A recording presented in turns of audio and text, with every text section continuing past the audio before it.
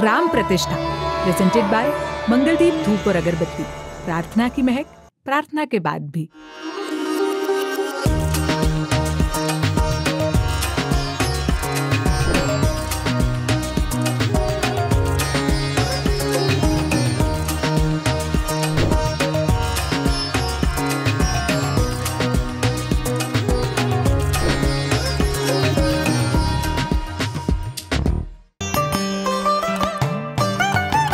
मंगलदीप, भगवान से दोस्ती। थोड़ी देर पहले पत्रकारों के ग्रुप में मैसेज आया कि शाम को सात बजे के आसपास राम मंदिर के गेट नंबर 11 इसको 11 नंबर गेट कहेंगे, गेट नंबर 11 पे पहुँच जाएँ, आपको माइक कैमरा और मोबाइल फोन्स के साथ अंदर जाना अलाउड होगा।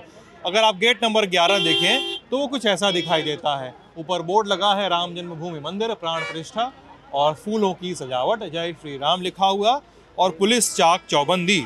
सब कुछ दिखाई पड़ रहा है और मीडिया वाले भी खड़े हैं, क्योंकि तो सबको अपनी अपनी बारी का इंतज़ार है अंदर घुसने की। मीडिया पासेस जिनके पास हैं, जिनके बने हुए हैं अप्लाई करने पे जो बन रहा था इस पूरे आयोजन के पहले, उन्हें ही एंट्री अलाउड अलाउड होगी। हम अंदर जाएँगे तो हम दिखाएँगे और बात करेंगे कि राम मंदिर अंदर से कैसा दिखता है।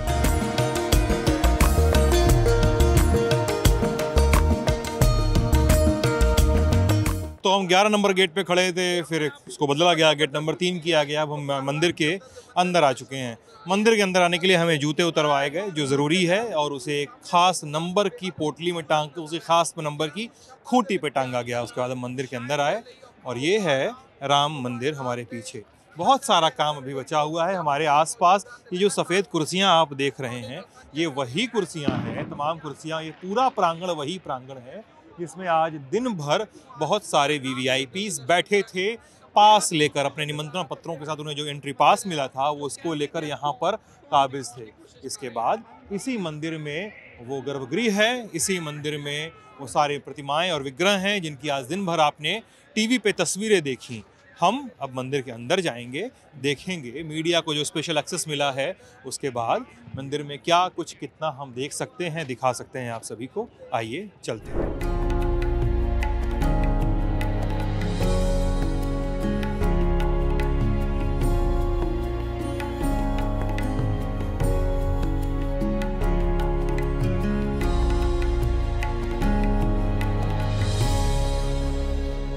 तो अब हम मंदिर के उस हिस्से में हैं, जहाँ से सीधा प्रवेश, जिसकी आज तस्वीरें आपने दिन भर देखी होंगी।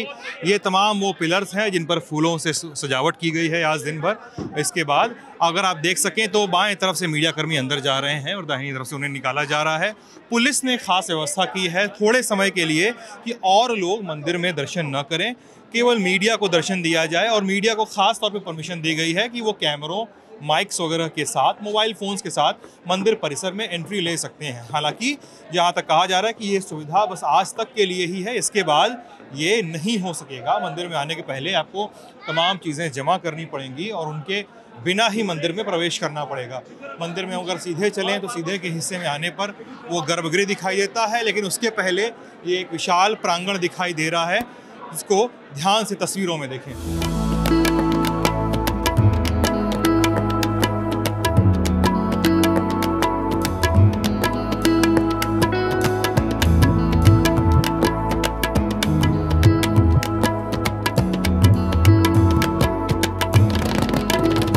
इसके बाद अगर आपको सामने देख सकें तो वो कपाट है, जो गर्भगृह का कपाट है। कपाट इस समय, चूँकि घड़ी में हमारे आठ बजे से ज़्यादा का वक्त हो रहा है तो ज़ाहिर सी बात है कि कपाट बंद कर दिए गए होंगे। लेकिन उसके ठीक पहले ये एक और हॉल पड़ता है, एक और हॉल पड़ता है इसमें ये ऊपर की आकृतियाँ दिखाई देती हैं। मुख्य कपाट बंद है, एक साइड में एक कपाट खोला गया है।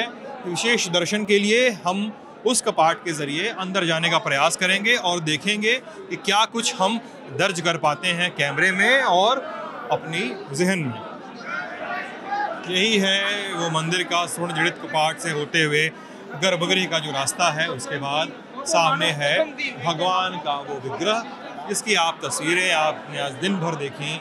हम लल्लन टॉप के कैमरे पे उस विग्रह की तमाम तस्वीरों को आपके सामने रखना चाहते हैं, आपके दर्शकों के लिए उनकी बातों को दर्ज करना चाहते हैं। आइए देखते हैं।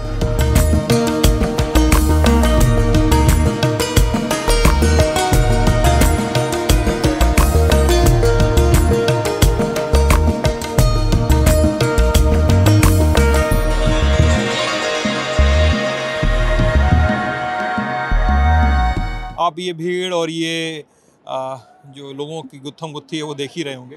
सब लोग दर्शन करना चाह रहे हैं। सब लोग चाह रहे हैं कि अंदर गर्भगृह में पहुँच के दर्शन कर सकें। इसलिए जो रेगुलर दर्शन के समय हैं, उनसे आगे बढ़ा के इस समय दर्शन दिया जा रहा है। ये तेईस तारीख से मंदिर, तेईस जनवरी से आम लोगों के लिए खोला जाएगा। अभी मीडिया को एक स्पेशल एक्सेस दिया गया था कि वो मंदिर में जा सकें, देख सकें तरियाइयों में जा जा सकें। आप लोगों की जल्दबाजी भी देख ही रहे हैं। अब अगले एक दो मिनट में मंदिर की तस्वीरें देखिए। मैं स्क्रीन से विदा लेता हूँ।